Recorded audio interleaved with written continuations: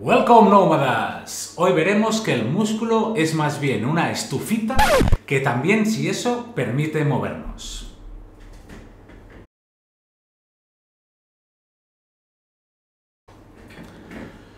Bromas aparte, lo que veremos hoy, así un poco como un índice, es uh, las funciones del músculo, cómo funciona la contracción muscular, muy complicado, eh, los tipos de contracción y los tipos también de fibra muscular. Vamos al lío. Eh, en un esquema muy, muy sencillito, haciendo la analogía de, una bisagra, ¿sí? una puerta, donde el hueso es lo que se mueve y la articulación es lo que permite y define el movimiento. El músculo es lo que realiza el movimiento. Estas dos partes de esta bisagra no se pueden mover a menos que alguien las mueva. Ese alguien es el músculo, es el que realiza el movimiento es el actor, es el activo, es el motor. Aquí nos faltan dos cositas que hoy aparecerán, pero no trataremos exhaustivamente, que es por un lado que este motor está regulado, está ordenado, está gestionado por el sistema nervioso, por las motoneuronas, las neuronas motoras, y por otro lado, em, el tema de energía. ¿sí? Esta, es, todo, todo proceso activo conlleva un gasto de energía. ¿sí? Lleva un combustible ¿no? Em, que vamos a usar. En este caso, aquí aparece resumido como, como, como ATP, adenosin trifosfato, pero eso, aunque hoy lo explicaré un poquitín más, eh, lo explicaremos mejor en vídeos de fisiología un poquito más adelante. Vamos a algo que ya vimos, ¿sí? que es las propiedades, cuando vas a buscar las propiedades del músculo siempre te salen cuatro, ¿no? excitabilidad, contractilidad, extensibilidad y normalmente ponen elasticidad, aunque debería ser viscoelasticidad. El músculo, por ejemplo, el aparato contráctil del músculo es un ejemplo muy bueno de material viscoelástico. ¿sí? El tendón, por ejemplo, es un buen ejemplo de un material elástico. ¿sí? Por, por decir, aunque es viscoelástico, pero se acerca más al a la elasticidad. El músculo, lo que es el, bistec, ¿no? si le quitas todas las vainas y tal, queda, queda como un aparato bastante viscoelástico. Bueno, por un lado, y si no, no se entiende la contracción, eh, el, músculo tiene que ser excitable. ¿sí? Se excita mediante el sistema nervioso, viene, da una descarga y esa descarga provoca una contracción. La broma de la estufita mm, es porque esa contracción es muy ineficaz eh, generando movimiento. Es una, la contracción muscular genera un 75% calor y solo un 25% eh, trabajo mecánico, ¿sí? desplazamiento, contracción como tal. Lo cual el músculo en el fondo es mejor calentándonos, es mejor estufa que no generando movimiento. Pero bueno, que no sea eficiente generando movimiento no significa que no genere movimiento. Extensibilidad es que el músculo se puede, se puede extender, pero esto hay que tener cuidado. el músculo no es un pistón que funciona en contracción y en, y en, extensión empujando hacia afuera, no. El músculo solo puede intentar acortarse y eso es muy importante que quede muy claro. El músculo no puede empujar, lo cual em, para la bisagra que hemos visto antes, para abrir esa bisagra necesitaríamos otro músculo que estuviese al otro lado, ¿sí? Porque el músculo solo puede llegar en, en, un sentido, ¿sí? Solo puede intentar acortarse. Lo que pasa es que se puede extender cuando las, las fuerzas son mayores o lo que, lo que, sea, por el motivo que sea, se puede extender. Y se puede extender bastante. ¿sí? Luego veremos que el, el que sería la unidad, ¿no? se puede extender de máxima contracción a máxima extensión casi cuatro veces, ¿sí? tres veces y pico, ¿sí? tres veces, ¿sí? más o menos. Y bueno, hay que tener esas propiedades viscoelásticas de que bueno, pues que, va a recuperar su forma de una manera con cierto delay, no de manera completa, y que sobre todo que la velocidad es un factor muy determinante en cuanto a sus propiedades. O sea, un músculo que, que, se, que lo estiras muy rápidamente se puede romper, el mismo músculo estirado muy lentamente, mm, pues no se, no tiene, no, se romperá tan fácilmente. Tipos de músculos, a grosso modo, eh, que nos interesen es el músculo estriado, el músculo esquelético estriado a saber, en las vísceras, mm, intestinos, etcétera, es músculo liso, es diferente al estriado y es involuntario. El músculo cardíaco es un 50-50, es estriado, o sea, tiene una estructura muy parecida al músculo esquelético, pero funciona involuntariamente. Si Tú no puedes decidir contraer el corazón. Y en cambio el músculo esquelético es el estriado y voluntario. Pero ojo, eso no significa que solo funcione voluntariamente. No significa esto. Significa que puede ser activado voluntariamente. Y eso es, una, es un matiz bastante importante. O sea, una contracción fásica, una, una, contracción fásica significa que es mm, corta y, como mm, súbita.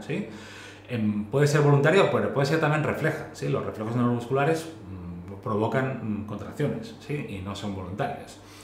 Y también existe el tono, el tono muscular, que es una contracción remanente, una contracción basal, que, entre comillas, tampoco es voluntaria. Tú no decides qué tono quieres que, que, que, tengan tus músculos, ¿sí? No, no, eso no es voluntario. Cuidado con el concepto de fásico tónico porque ha llevado a, bueno, pues a algunos malentendidos, ¿sí? Incluso decir que hay músculos tónicos y hay músculos fásicos. Bueno, todos los músculos pueden tener un tono y todos los músculos pueden músculos esqueléticos pueden realizar contracciones fásicas, lo cual todos funcionan con todo. Sí que es verdad que los músculos que generalmente eh, mantienen la postura, pues, pues es muy importante su función tónica y hay ciertos músculos, como por ejemplo un bíceps, ¿no? que es mucho más importante su, su función fásica. Pero todos los músculos pueden tener las dos, bueno, tienen las dos funciones sin, sin excepción. Y también nota a la hora de entender las funciones del músculo es que el músculo también se está considerando como, como un órgano endocrino. Em, ¿Por qué? Porque segrega, incluso segrega mioquinas y tiene un efecto, em, cuando está funcionando, un efecto como la insulina. Em, lo cual, bueno, pues el músculo no solo es para cachitas de gimnasio, ¿sí? El músculo es salud. Y, ojo, eh, que si eres diabético o prediabético y no te están prescribiendo ejercicio físico de fuerza, pues mm, cambia de médico, así te lo digo. ¿Sí? Bueno, nos vamos a la estructura que ya vimos en el vídeo anterior sobre anatomía y el aparato locomotor. Bueno, pues una, la estructura sería el músculo ah, se divide en fascículos, los fascículos en fibras musculares y las fibras musculares en miofibrillas. ¿sí? Y estas miofibrillas tienen esta estructura que veis aquí de sarcómero, que es como una especie de acordeón a saber también que existen unas vainas que, envuelven cada una de estas estructuras, ¿sí? que serían el epimisio, el perimisio y el endomisio. Esto ya lo vimos el otro día y aparte, para simplificar, os traigo un, corto, un, vídeo donde se aprecia pues, el fascículo, del fascículo salen eh, las fibras musculares, de las fibras musculares sale la miofibrilla y el sarcómero, que aquí no se aprecia muy bien, pues sería el corte este transversal, ¿sí? Esto sería el, sarcómero. Aquí tenemos el sarcómero. Hola, soy el sarcómero. El sarcómero es esta especie de acordeón que tiene la propiedad de, de, de acortarse. ¿sí? Eh, os he traído un esquema, me ha costado un poco hacerlo. Eh, sí, el, funcionamiento es este. Este es un sarcómero, una, simplificación a uno, veis que hay un montón, sí, hay un montón y, por eso es estriado, porque cada una de esas estructuras genera una estría, sí, lo cual, bueno, pues la suma de todas estas deslizamientos de estos dos filamentos, sí, son la contracción muscular. Este de aquí es el filamento grueso, llamado miosina, y este de aquí, el más finito, es el filamento fino, llamado actina.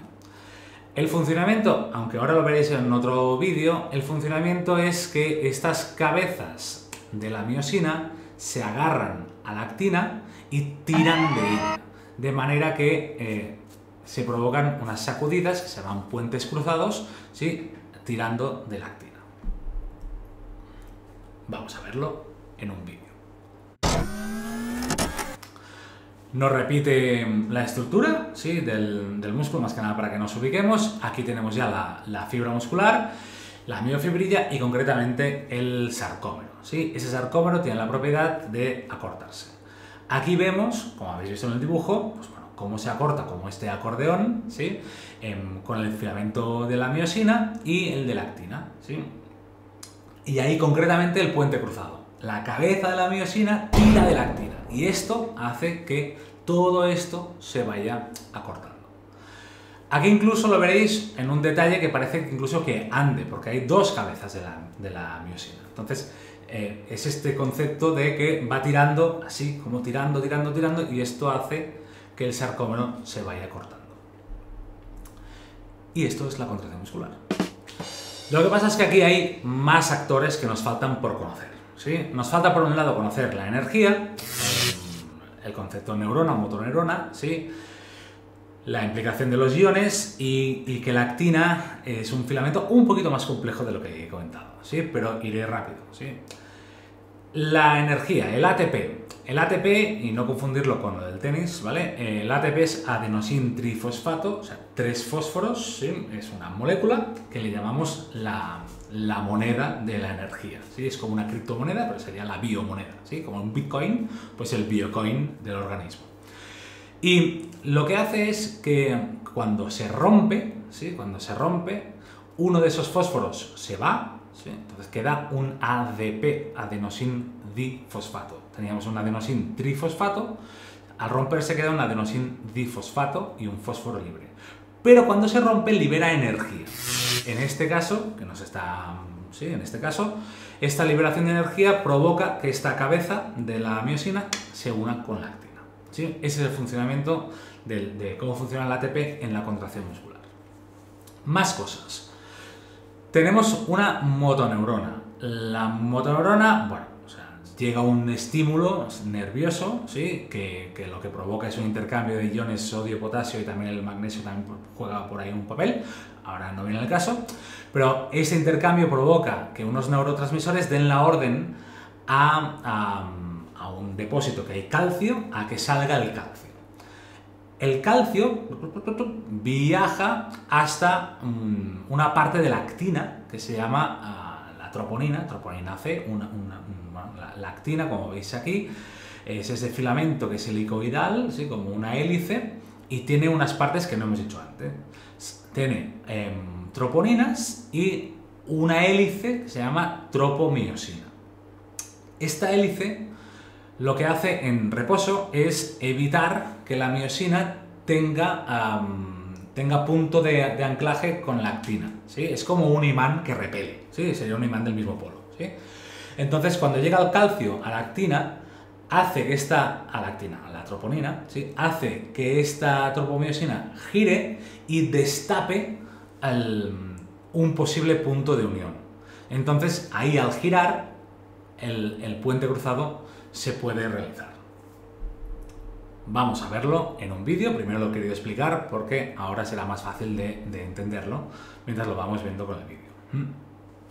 Primero el papel del, ATP. El ATP eh, se rompe ¿sí? y queda un ADP y un fósforo libre y em, permite la sacudida. ¿sí? y este, este, esta tracción. Dentro de la actina teníamos unas moléculas de troponina, que en realidad son tres partes de molécula, pero no lo voy a explicar, ¿sí? y la tropomiosina, que es este hélice, ¿sí? esta hélice.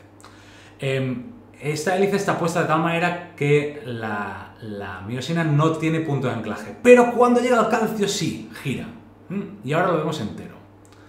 Neurona, unión neuromuscular o motoneurona, libera el calcio, el calcio se une con la troponina, hace girar la tropomiosina y ahí se liberan los puntos de unión. Y la miosina puede em, clavarse, ¿sí? puede generar este punto cruzado y tirar. Y esto, multiplicado por muchas veces y multiplicado por muchos acordeones, es la contracción muscular.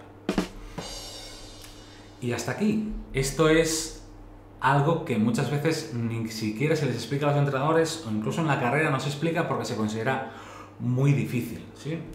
Yo tengo un esquema para, para ya finiquitar, ¿sí? Em, porque esto sé que es un poco complejo.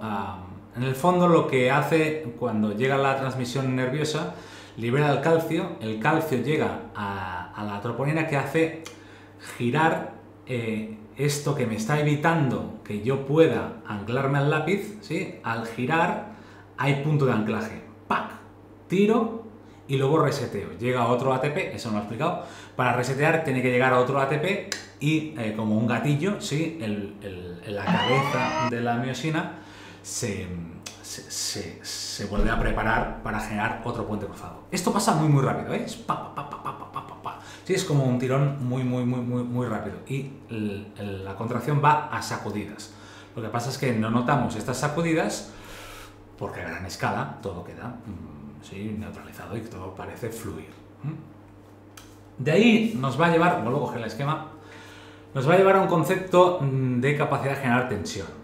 Lo voy a resumir mucho porque hay muchos matices, ¿sí? Lo que es obvio es que si esto está muy separado, como ahora, ¿sí? no, hay, no hay posibilidad de generar eh, puente cruzado, por lo cual hay poca capacidad de generar tensión. Cuando estamos más o menos por aquí es cuando hay más posibilidad de generar puentes cruzados y es donde tendríamos más posibilidad de generar tensión. ¿sí? Es esta curva que veis aquí. ¿sí? Y en cambio, si incluso solapamos, vuelve a pasar em, lo, contrario, ¿sí? vuelve a perder capacidad de generar tensión. ¿sí?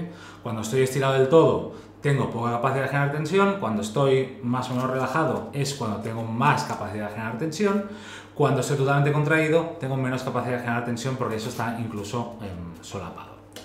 Aquí hay una cosa neuromuscular que no voy a explicar hoy que suma esto, porque si, contásemos puentes cruzados que se pueden generar, eh, cuando el músculo está contraído tendrían que ser bastantes, quizá no óptimo, pero tendrían que ser bastantes, ¿sí? porque hay espacio para generar puentes cruzados.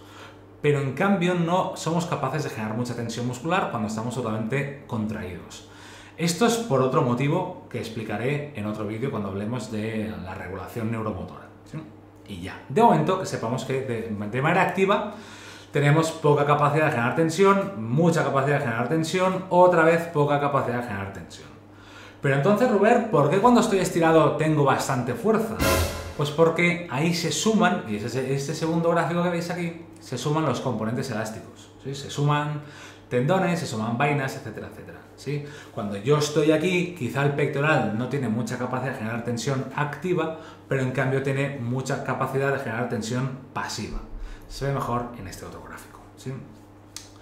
Hay una curva en forma de U, invertida que sería la capacidad de generar tensión activa y hay otra curva exponencial y ascendente, ¿sí? que es cuando más estirado está algo mm, que tiene propiedades elásticas o viscoelásticas, pues mm, más tensión pasiva puede generar. Lo cual la curva total es esta curva que veis así con forma de, ola.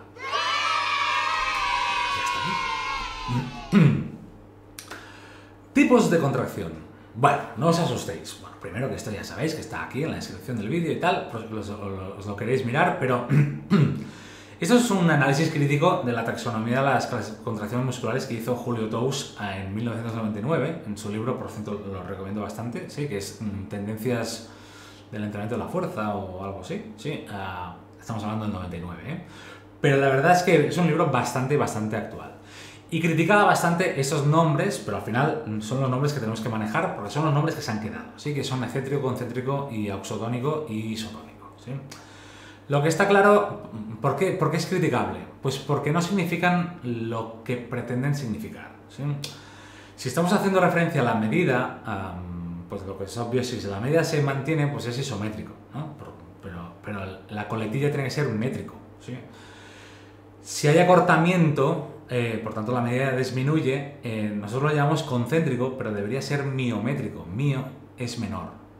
Y, y si se alarga, debería ser pliométrico porque plio es mayor. Me diréis, hombre Robert, pero es que la pliometría es otra cosa. Bueno, originalmente no. Sí, originalmente la pliometría había pliometría lenta y pliometría rápida, que era cuando se aprovechaba la contracción excéntrica. Nosotros todo esto lo conocemos con esa taxonomía de aquí, que es isométrico y dinámico, ¿sí? isométrico y dinámico, también se puede llamar anisométrico, o sea, no isométrico, o heterométrico, o sea, distinta medida, y dentro de esta contracción dinámica lo conocemos como concéntrica y excéntrica. Lo que es un lío es lo de isotónico y anisotónico, porque isotónico la verdad es que que mantenga el mismo tono durante toda la contracción, pues, ¿qué quieres que te diga? Pues es bastante irreal. Problema de esas clasificaciones, eh, como aquí vemos, ¿sí? Em, que es que la excéntrica eh, se suele decir, mira, aquí está el dibujo, ¿no? Si yo, bueno, no se me va a ver. Si yo mantengo la contracción es isométrico, obviamente, si yo tengo un peso y, cierro, es concéntrico, porque estoy acortando el músculo, pero si este peso lo empiezo a bajar, em, claro, algunos dicen, no, entonces estás haciendo una contracción del tríceps, ¿no? Estás haciendo eh, em, sí, extensión de codo. Bueno, Si hago una extensión de codo, a lo mejor me rompo el pie. Si yo estoy de pie como este muñeco y hago una, una, fuerza con el tríceps de extensión de codo, a lo mejor me rompo el codo del pie, ¿sí? porque me cae la pesa al pie. Lo que hago realmente es acompañar y frenar la pesa, lo cual sigue trabajando el bíceps, sí, pero frenando la pesa. Aquí muchos dicen, pues entonces la contracción excéntrica es cuando la carga nos vence. Dices, sí, al principio, pero al final del trayecto, no, al final del trayecto em, tenemos que frenar, lo cual el pico máximo de fuerza, si tú pretendes frenar y o si tú pretendes frenar y enlazar con un concéntrico, el pico máximo de fuerza se da en la fase excéntrica, al final, pero en la fase excéntrica. Lo cual la fase excéntrica no significa que haya menos fuerza, ¿sí? incluso es al revés. Pero eso dependerá de cuándo lo frenes tú, ¿sí? de cuándo lo frenes tú, si lo dejas caer o no lo dejas caer. Y de aquí yo ya he, dado a entender, y por eso he cogido el ejemplo del bíceps, porque es el más clásico, que hay unos músculos que trabajan y unos músculos que se relajan, ¿sí? que no trabajan. ¿sí? En este caso tenéis el ejemplo típico ¿no? de, una contracción, de una flexión de codo, el agonista ¿sí? es el bíceps y el antagonista, el que se tiene que relajar, es el tríceps. Si los dos, bíceps y tríceps, hiciesen la misma fuerza, sería isométrico, no ganaría nadie, ¿sí? Pero el antagonista lo que hace es relajarse. Lo que pasa es que no se relaja del todo, que es algo que cuesta mucho de entender. No se puede relajar del todo porque si no el codo podría salir de sitio. Encima, imagínate que, en este dibujo hubiese una pesa, ¿sí? Hubiese una pesa y yo tengo una pesa aquí. Yo tengo una pesa que me hace una fuerza hacia allí y tengo un, un bíceps que me hace una fuerza hacia allí, me genera una cizalla en el codo que me, podría sacar el codo de sitio. Lo cual necesito un poco de tensión ¿sí? que compense esta cizalla. ¿sí? Lo cual el tríceps, para mantener a salvo la articulación, el tríceps sí que tiene un, un, poquito de tensión. No, os penséis que, que, que, se anula de toda la tensión. Todo eso está regulado por el sistema nervioso con los reflejos neuromusculares que explicaré un poco más adelante. ¿sí? Porque, bueno, porque es bastante complejo y este vídeo si no quedaría eterno. Y luego tenemos esta, este nombre de sinergistas. Los sinergistas se suele decir, bueno, un sinergista es aquel que ayuda o fija la articulación. Por ejemplo, aquí el hombro está trabajando de, fijador, ¿sí? porque si no el codo sería para atrás. ¿sí? Si hay una pesa aquí, el codo sería para atrás, entonces el hombro lo está echando para adelante. Correcto. Hay más músculos que generan o que ayudan en la flexión de codo. Entonces, para algunos son sinergistas, pero ¿hasta qué punto no son agonistas? Me refiero, la flexión de codo hay más músculos, no solo el bíceps trabaja, ¿sí? Tenemos las dos cabezas del bíceps, ¿sí? En este caso, eh, la cabeza larga y la cabeza corta, ¿sí? Que son, es un músculo con dos cabezas, pero hay dos músculos más que también son flexiones de codo, ¿sí? Que son el braquial anterior en este caso, y además el braquial anterior es puramente flexor de codo, sea, su única función es la flexión de codo, y el brachiorradial o supinador largo, que también es flexor de codo. Lo cual decir que el bíceps es agonista y los otros dos son sinergistas, pues no me parece muy justo, porque en realidad la flexión de codo mm, pues se distribuye entre estos tres, o cuatro, depende de si el bíceps lo cuentas como uno o como dos, se, distribuye entre estos tres músculos. No, no, no, no es que el bíceps trabaje y los otros ayuden, trabajan todos, trabajan todos. Pero bueno, esto al final son matices. Ya estamos acabando. ¿sí?